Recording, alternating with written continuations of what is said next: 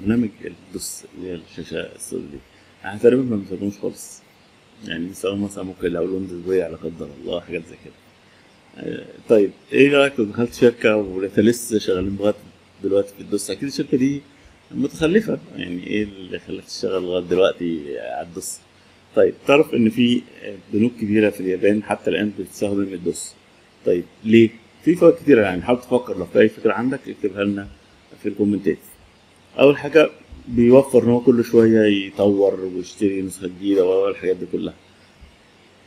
مفيش فيروسات مفيش حد بيعمل فيروس لل DOS هو أكيد هيعمل ال Windows لأن أغلب الناس بتشتغل عليه. في ناس مش كل شوية تديله دورات تدريبية الناس مش تقدر تلعب عليه games يعني إيه ال games اللي هتلعب عليه؟